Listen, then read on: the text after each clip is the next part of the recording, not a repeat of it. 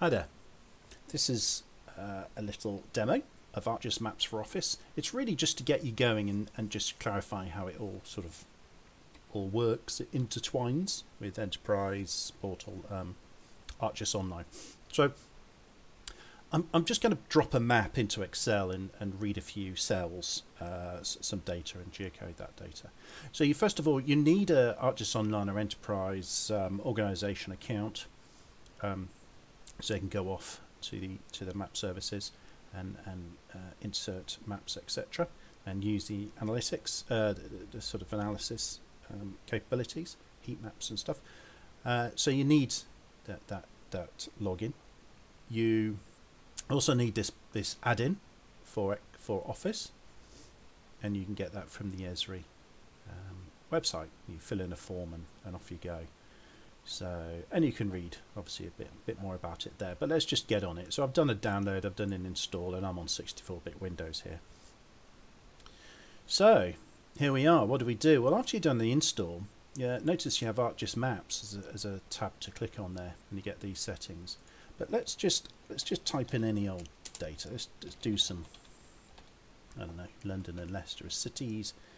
London 50, Leicester 100, obviously. Um, so I've got the name of a city, some geography, and I've got a value. So I'd like to put a put a map here from ArcGIS Online. How do I do that? First of all, let's sign in. So I shall just enter my sign in details.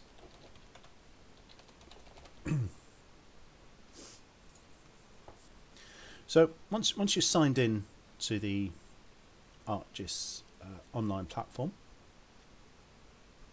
you'll then get the options. Main one being add map down and select my cell, cell range from the off.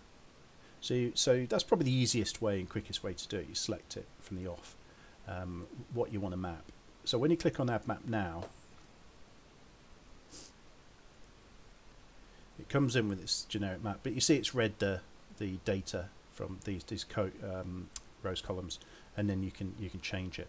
So it's already I think it's got World City there because that's what I used before. So um, uh, you know it's defaulted to that. But you select how you want to geocode because it could be zips it could be set coordinates could be name of whole country so it's, so it's polygon uh, that sort of thing. And you can add more for, uh, more location types. So I'm going to go for World City.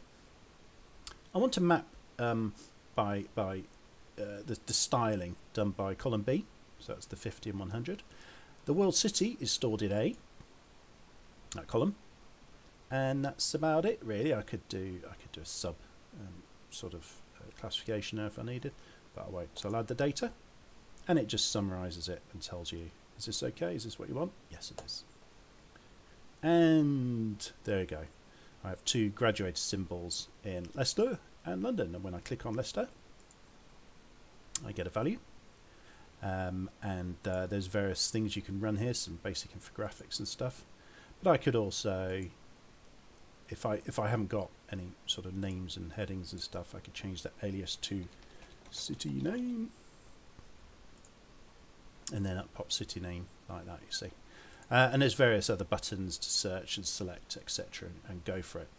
So that's kind of one layer, and indeed I can click on ArcGIS data and go and get other um, data maps, other data sets, other layers, feature services and stuff, and just add them to the layer. But I could carry on adding further Excel data because I could here type in Nottingham. And let's say that's 80 Edinburgh.